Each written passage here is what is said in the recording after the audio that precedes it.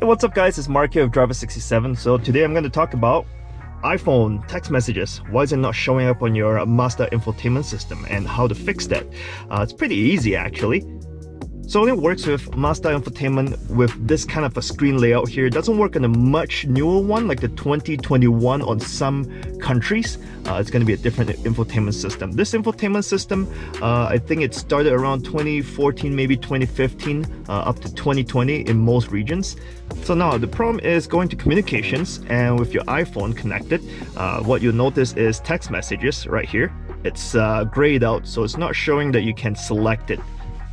To fix this issue is pretty easy. So go to your iPhone menu and what you want to go to is your Bluetooth menu where your car is connected. So go into it. Uh, by default, when you connect your phone into it, show notifications is turned off. What you want to do is enable uh, show notifications.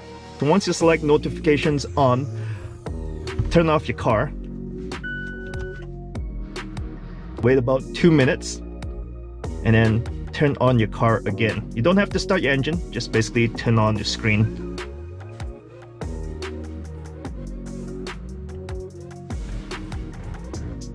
So after approximately two minutes, restart your car. No, you don't have to start up your engine. And if you go to communications, you gotta wait a little bit and then look at that. Text messages now shows up here. So here you can check on your messages. When you're fully stopped, it displays the full text here. Uh, but when you're driving, it shows that it displays, it cannot read text messages, but you can use your, um, your little knob here to control and push play and it would read out the text messages. Hi. End of the message.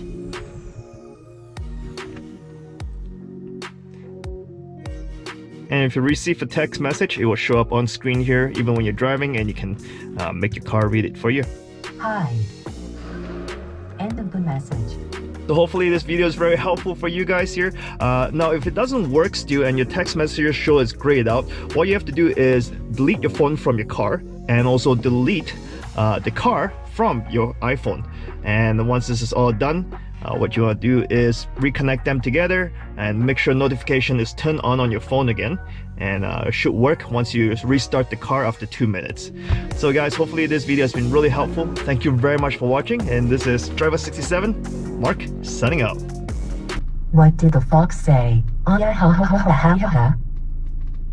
End of the message